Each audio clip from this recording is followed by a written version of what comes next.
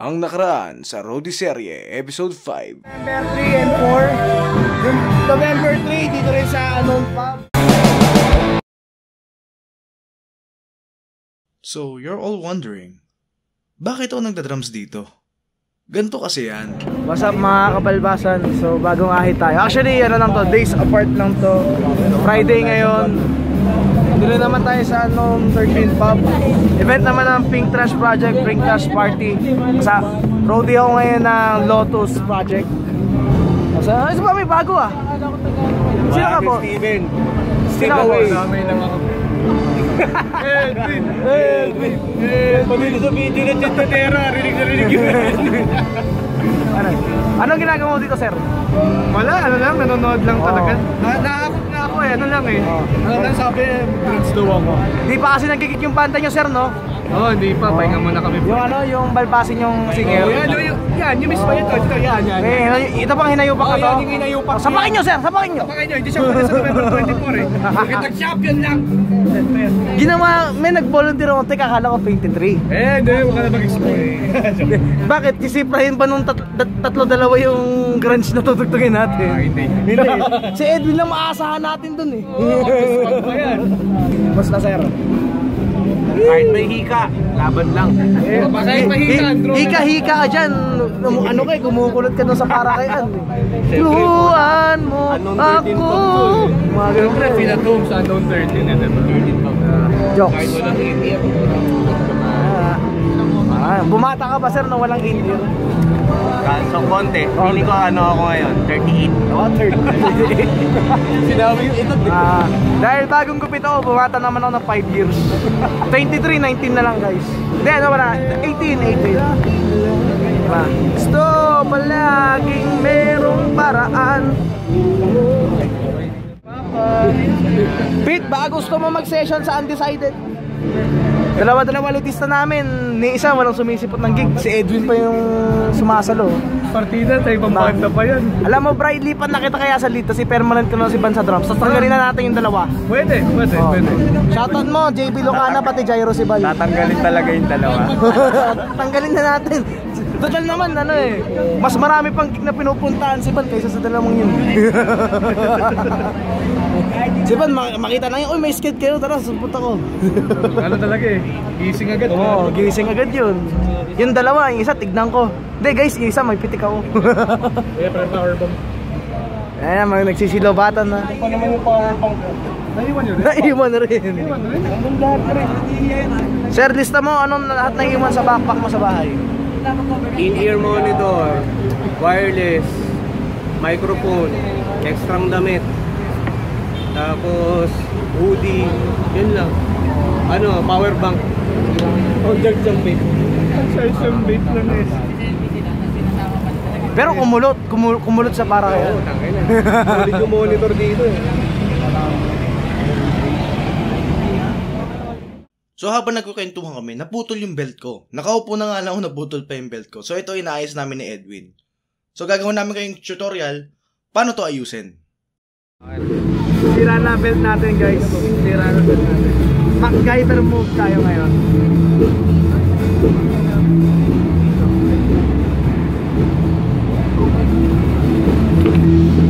Hindi magupit. Kaya, kaya, kaya. Ko.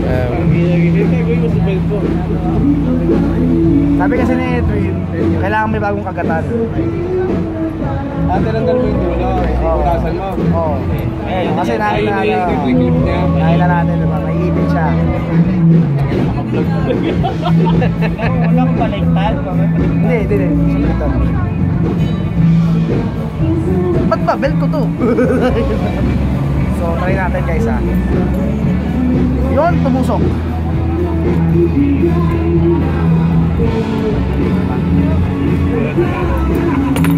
Subukan natin ngayon guys.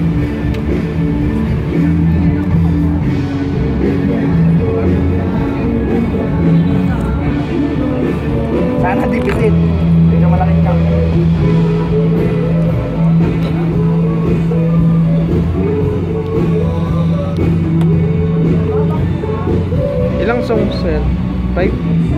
Uh, five ito yung nagpapili natin yung vocalist na yung criminal sina five hour pa five kaya guys sabi kumabot 40 minutes yun sir kaya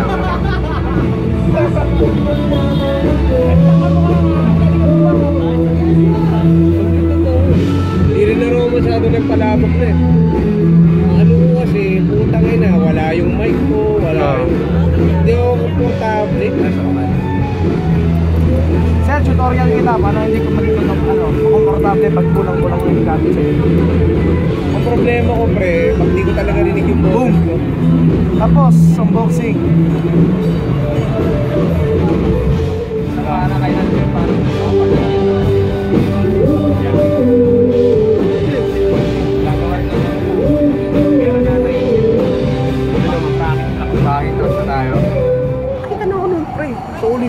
Akala, alam mo yung pag nagpa-bilog ka sa vape, Napapasarap ang kwento namin dito, horror eh. pero sa bagay pa naman sa kahit panahon. mahanginan Si siya. Joko, nanginginig na eh. Circle lang siya talaga. Ganun. Tapos bigla na lang siyang mag-fade. Hindi siya para mawawala. Para siyang nag, nag-fade sa video. Ano, pre, nung bata ako, umiiyak ako sa labas ng bahay. Bata ka eh. Iiyak ako. Sa labas. Ang ina, lumilipad talaga yung aso. Dito, ruko sa yaya ko. Aso. Dog. Kuha ganun pa ako eh. Dog, lumilipad Paano eh. sir? Paano yung dog? Dog. Ano color brown yung aso. Naalala ko pa. Lumilipad sa ganun? Tapos ang bilis. Ganun-ganun siya. Tapos, hanggang sa... nawala siya, biglang pumasok sa ilong ko yung ipis na maliit pa rin. Diretso sa ilong ko. Dinala ako sa ospital. Kasi sumisiksik yung ipis hanggang dito ko. Ang sakit! Ang ina, iyak talaga ako nung bata ako. Tapos ano yun, ah, natanggal naman yun.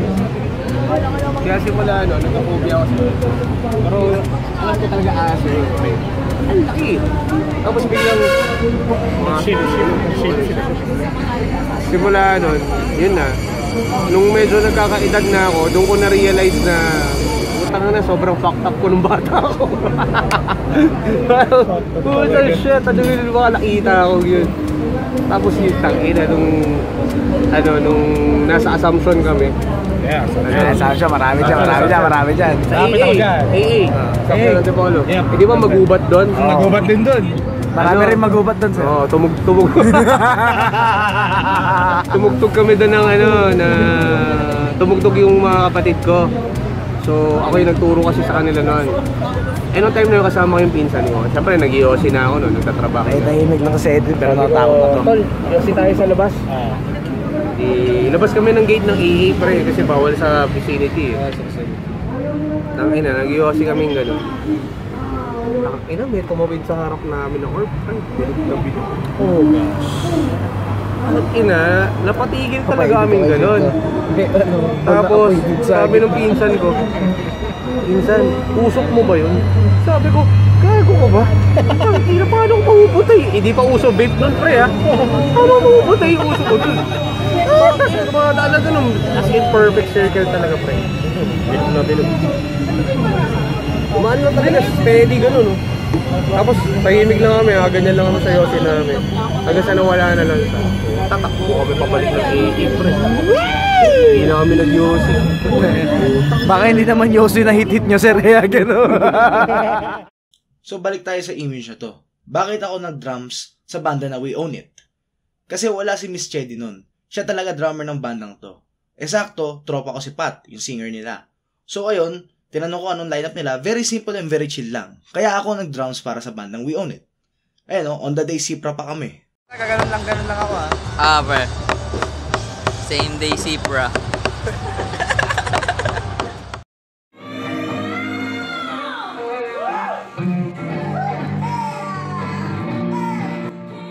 Again, happy birthday kay Ate Pink and congrats sa Pink Trash Party Day 1 and Day 2. At salamat sa panonood!